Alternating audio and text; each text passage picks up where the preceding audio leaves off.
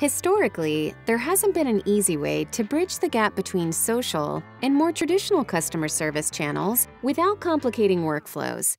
Until now, Sprout Social's Salesforce Service Cloud integration creates a full 360-degree view of your customer, ensures messages get to the right agent quickly, and allows agents to view, edit, and respond to cases and messages from both Sprout and Service Cloud with real-time synchronization. It almost sounds too good to be true, so let's show you how it works. Here in Service Cloud, we're looking at an agent's view of an open case queue for our test company, Sprout Coffee Co. In this instance, all the cases were created from the company's social messages automatically sent over from Sprout. When we click into this chart, we can see the case volume across their various social networks. While Sprout integrates with most major social networks, we'll just look at a direct message in Twitter as an example. What you're seeing now is the agent's view of the case. On the left-hand side, we can see all the case details and all related cases to that parent contact. At the bottom of the screen, we can also see every message sent from that profile.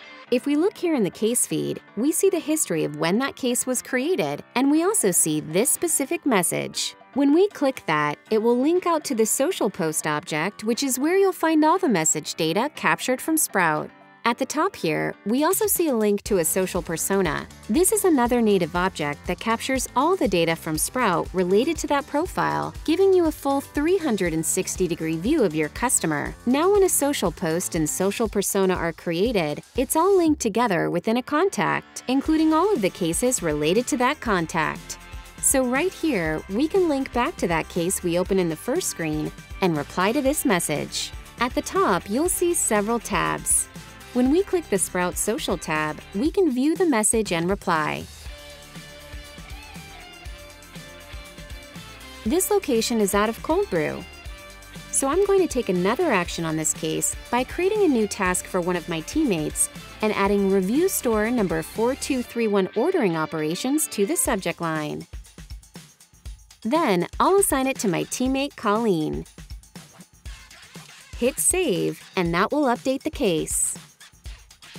One important callout here is that this case came in based on certain rules we created in Sprout to flag the keyword cold brew. This is our intelligent automated case routing in action. So whenever we receive a message that contains that phrase, Salesforce will automatically create a new case. Now, let's take you through what this process looks like in Sprout.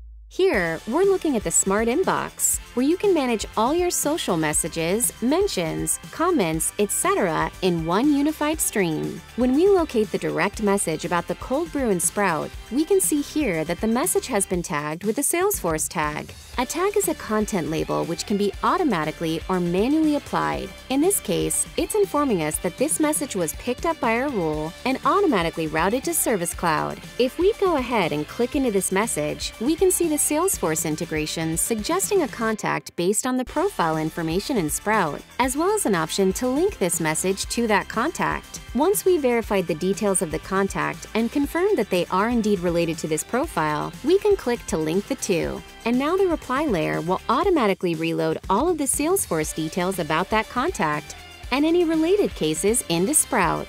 And if we go back to Salesforce and reload this case, we'll see the change reflected there as well.